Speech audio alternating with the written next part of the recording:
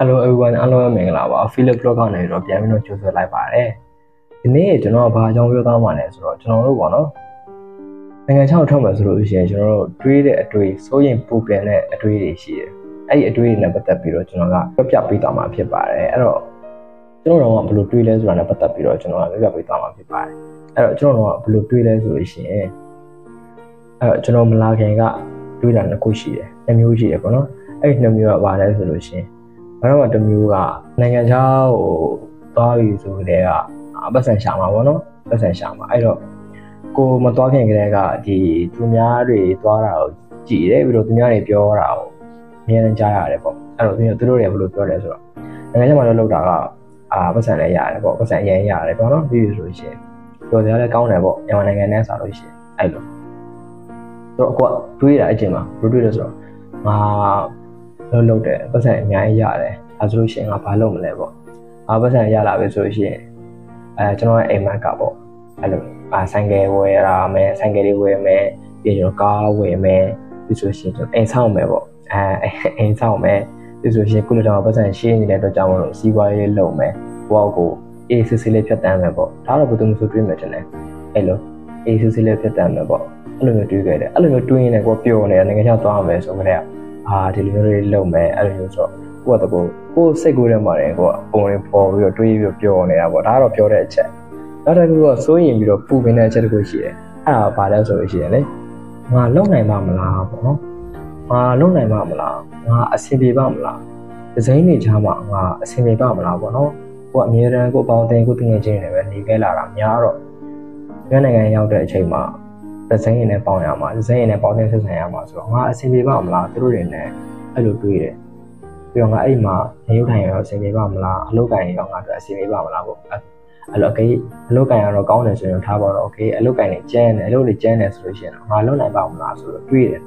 အဲ့လိုတွေးပြီးတော့တွေးဖို့လည်းပေါ့နော်အခုကိုကိုလည်းကိုကိုကိုပြန်နှိမ့်သက်ရတာပေါ့လို့လဲဆိုတော့လုပ်နိုင်မှာပါလေလို့ okay ဟုတ်သွားပြီလို့ okay ငါမလုပ်နိုင်ဘူးငါတို့အဆင်ပြေဘူးဆိုလို့ရှိရင်လည်းငါတနေ့လောက်လုပ်ပြီးရတယ်ငါပြန်လာမယ်ပေါ့နော်အဲ့လိုမျိုးလေးတွေးပြီးတော့ကိုကိုကိုအဲ့လိုတွေးဖို့တဲ့စိတ်ကိုကိုပါတာကိုပြန်ပြီးတော့နှိမ့်သက်ရတာပေါ့နော်အဲ့လိုမျိုးလေးပြန်ပြီးတော့နှိမ့်သက်ရတယ်ဒါပေမဲ့တကယ်တကယ်တမ်းကိုနိုင်ငံခြားရောက်သွားတဲ့အချိန်မှာဘယ်လိုဖြစ်သွားလဲဆိုတော့လေအာဒီရောက်သွားတဲ့အချိန်မှာ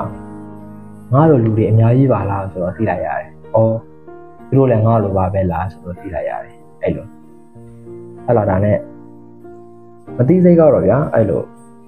တွေးနေတာပေါ့နော်မသိစိတ်ကတော့သူ့ဘာသာသူတွေးနေပေမဲ့လက်ရှိအပြင်ပိုင်းမှာကျတော့ကိုယ့်ဘာသာကိုယ်လှုပ်ရှားရှိရလုံနေတယ်ကိုယ့်လို့ကိုယ်လှုပ်ရှားရှိရလုံနေတာပဲကိုယ်ကိုသွားစားရှိရလုံသွားတယ်ကိုယ်ကတော့လှုပ်ပြန်စားရှိရပြန်တယ်မနဲ့မိုးလင်းလို့လှုပ်သွားပြီဆိုတာနဲ့အပြင်မှာကိုလိုသူလိုသွားနေသူတွေအများကြီးရှိတယ်ပေါ့နော်ကိုလိုလိုသွားတွေအများကြီးရှိတယ်အဲ့တော့တွေးမိတယ်ပေါ့နော်အော်သူတို့လည်းငါ့လိုပါပဲလားပေါ့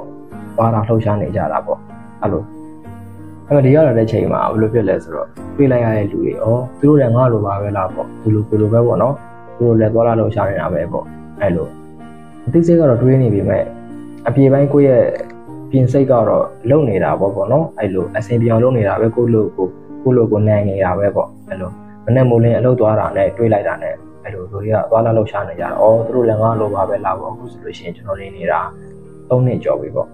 ဒီတိုင်းမဲ့အစင်ပြောင်ကျွန်တော်လုပ်သွားနိုင်တာပဲပေါ့နော် အဲ့လိုမျိုးတင်ကြတော့မတိမတာနဲ့ကိုလည်းသူတို့လိုဖြစ်သွားတာပေါ့အဲ့လိုအဲ့လိုမျိုးတွေးဖို့တဲ့စိတ်တွေကကိုကိုကိုနှိမ့်သက်ရင်နဲ့ဖြည်းဖြည်းဖြည်းဖြည်းနဲ့လုံရင်းလုံရင်းနဲ့သူ့ဘာသာသူနေသားကြသွားတာပေါ့နော်အဲ့လိုလိုဖြစ်လဲဆိုတော့ကျွန်တော်တို့ပူနေတဲ့ယူနေဦးတို့အိုးကျွန်တော်တို့ချက်ချင်းသွားကင်နိုင်မယ်ဆိုလို့ရှိရင်ကျွန်တော်အရန်ပူတာခံစားရတယ်ဒါပေမဲ့အဲ့ဒီယူနေဦးကိုကျွန်တော်တို့မပူခင်ကတည်းကကျွန်တော်တို့အဲ့ဒီယူနေဦးကိုကျွန်တော်ကကင်ထားမယ် ကင်ထားမယ်ပြီးတော့အဲ့ဒီရေနွေးဟိုတဖြည်းဖြည်းချင်းပူလာတဲ့ခံစားချက်ကိုကျွန်တော်တို့ခံစားမယ်ဆိုလို့ရှိရင်ကျွန်တော်တို့ကပထမပူနေတဲ့ဟာကိုချက်ချင်းသွားကင်တာနဲ့မပူခင်ကလေးကကိုကဒီရေနွေးအုပ်ကိုကိုကကင်ထားမယ်တဖြည်းဖြည်းနဲ့ပူလာတယ်ဆိုလို့ရှိရင်ကိုကတော့ခံနိုင်တယ်အဲ့လို